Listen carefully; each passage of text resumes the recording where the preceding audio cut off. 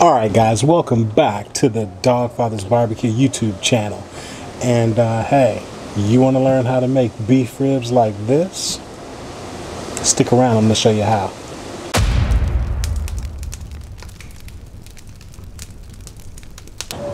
Alright guys, so that's right, today we're doing beef ribs. Now, beef ribs sometimes is kind of tricky to people, but I'm going to show you a really good way to make your beef ribs and it's really not going to be much of a fuss at all. Uh, with that, today we're doing a collaboration video with my buddy Clarence Joseph over at Mama and Papa Joe's Barbecue. So uh, this should be a fun cook, guys. So hey, let's get into it. All right, guys. So here we have our uh, beef short ribs here, and uh, we just got some uh, good little uh, choice cut beef ribs from our local HEB. And we're just going to give them a little look-see. And stuff like this, we're going to go ahead and trim off because they're just going to kind of burn up there in our cook. So I'm just going to trim just a little bit. Uh, good thing about beef ribs is it's not really a lot that you have to do uh, to get them ready for the grill. Uh, we're going to leave the fat cap on today and just kind of develop a really good bark across this fat cap. So there's really not a lot that we're going to do. Now the membrane that we have across the back here, we're going to leave it in place because that's actually going to help hold those beef ribs together uh, a little later into the uh, into the cook. So if they get really super tender on you, you know those uh, membranes is what's going to hold that together for you. So we're going to leave those on. Uh, as I said, we're just doing a little minimal trim here. Not really a lot coming off of this at all. And we're going to get these things all seasoned up, guys. All right, so now that we got these ribs all uh, cleaned up the way we want them, we're gonna get them seasoned and we're gonna use a slather. And today I'm gonna be using some uh, Frank's Red Hot Sauce. That's what I'm gonna put on here as my binder today, just cause we like a little bit of heat and uh, you know, it's just a good binder to use. So we're gonna put a little bit on and uh, kind of get this rubbed in, worked around on this rib, or I should say these ribs. If you're not a fan of uh, hot sauce, guys, you don't have to use it. You can use whatever you want to use for your binder. Uh, it's just what I prefer to use today. Now, the rub of choice today is going to be from uh, Texas Select Seasoning, and this is going to be the rustic rub, guys. Now, this rub I have never used before, and I actually learned about this rub from my good buddy, oh, Clarence Joseph over there at uh, Mama and Papa Joe's. And so we're going to be using some of this today here. Now, as I tasted this straight out of the bottle, it has a really good flavor. It's got a good hint of, uh, of garlic in it. It's got a good hint of salt in there as well. So I'm not going to use any kosher salt. And uh, it's got the cumins in it and some peppers. And so we're just going to be using this alone today as our rub, guys. So we're going to get these bad boys seasoned up with it.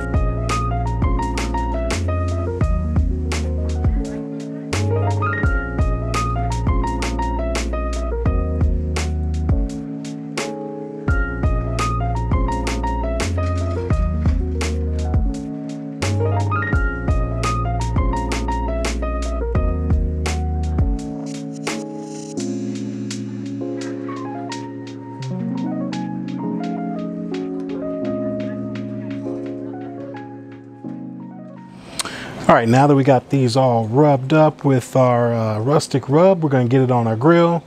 Now today we're gonna be using our Louisiana Grills Black Label 1200 and we're running it with some uh, post oak B&B pellets. And so we're gonna get these ribs put on. Now we're running our pit today at 275 degrees, guys. I find that works out to be a good temperature for me, so that's what we're gonna roll with. All right, so we got these ribs put on. We're gonna close it up and I'll bring you guys back in a little while. All right guys, so we just hit the two hour mark here and we're gonna go ahead and get the uh, spritz put on here. Now today I'm using the spritz of uh, three parts to one, three parts water, one part of Worcestershire sauce. And then I added about two tablespoons of uh, hot sauce to this. So we're gonna get this spritzed onto our ribs. Again, this is the two hour mark and they're looking pretty good. Uh, we're still pretty juicy in here. Uh, the Bark is still working on it, but you know, it's coming along. But we're going to go ahead and give it a spritz right quick.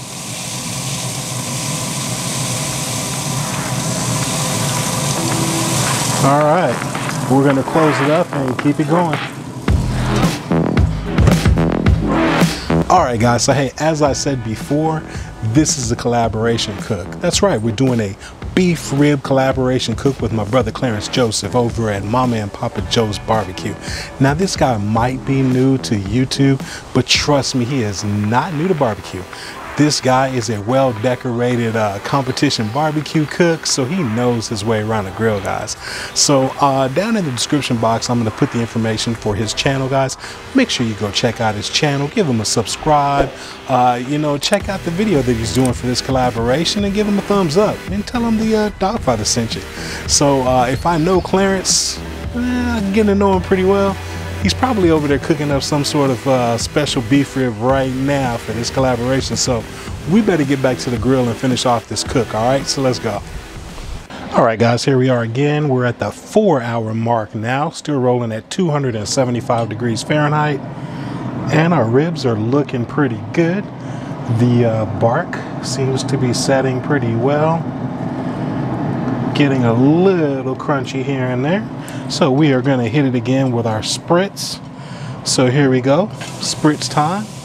And again, guys, this uh, bottle, a lot of you guys ask me, what am I spritzing with? Where can you get it? Make sure you check the links in the description box and go to my uh, link tree where you can find this on my Amazon page. All right? All right, we get this closed up and I'll bring you guys back in a while. All right, guys, so let's do a recap of what we did with today's cook. So we're taking part of a collaboration today with my brother Clarence over at Mama and Papa Joe's Barbecue. And we're doing beef ribs. So I got a couple of racks of USDA choice cut beef ribs from my local HEB. We got them out of the package and we used hot sauce as our binder today. Now we use Texas Select seasoning today and we use their rustic rub and that's what we use to uh, season up these uh, beef ribs with today. We didn't put anything else on it. Uh, this rub has a great flavor on its own and it's the first time I've used it so I wanted to use it by itself to make sure I got a great authentic flavor for it. So we got it onto our uh, Louisiana Grills Black Label 1200 and we're running it today at 275 degrees. Now after about two hours we came back to check our ribs and we're just kind of looking at it to see you know the progression of the cook, if we need to spritz it or not, that sort of thing. If we're cooking too fast, if we're cooking too slow, we're doing perfectly fine. We spritzed it up there and today we're using a mixture of water and Worcestershire sauce or W sauce and a little bit more hot sauce. We got the grill closed back up and we let it keep rolling. Now at the four hour mark, we came back and we did the exact same thing. We spritzed it just to keep these ribs nice and moist. Overall, it took us about six and a half hours to get these ribs completed. At that six and a half hour mark, we came back and checked the tenderness. Now we used our ThermoPro just to poke around on this rib and see how tender it was. If you notice, we didn't even wrap these today, guys. No wrap beef ribs whatsoever. This was all done directly on the Black Label 1200 today, and they came out perfectly tender. So now you are all caught up with what happened on today's cook. So let's get over here and uh, let's go take some ribs. All right, let's go. All right, guys, so here we are. We've got our ribs out. I've just got one rack out right now, and we're to go ahead and get these cut up. Now, today I'm to be using, again, one of my Dalstrong knives here. And as I've said before, uh, guys, if you don't have Dalstrong knives and you want to get you some, make sure you check out the links down there in the uh, description box and go get you a set. Remember, Dog 10 gets you a 10% discount on your uh, Dalstrong knives. But man, you can see that these ribs are glistening very well. Uh, they're feeling really tender and just feeling really good. So uh, let's go ahead and uh, get these cut up here.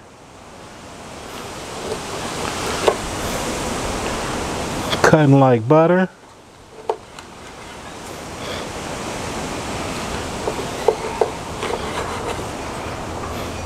All right. Now, there you go, guys. Look at that. Now, that is one tasty looking beef rib, if I do say so myself. Looking pretty good there. So, as you can see, guys, we got a, you know, it's a very tiny, uh, it's a very tiny little uh, smoke ring there on the outside there. wasn't too bad, but I really feel like it cooked very well for us today. So let's go ahead and get some of this cut. Man, you know what? Let's just eat this, man. So let's take a bite of this rib and see how it is, all right? So let's go. All right, guys, so hey, as I always tell you guys in my videos, if you like what you saw here, make sure you check out these videos I got listed right here, as well as click on that subscribe button up there, all right? I'm gonna see you guys in the next video. Beef ribs. Let's go.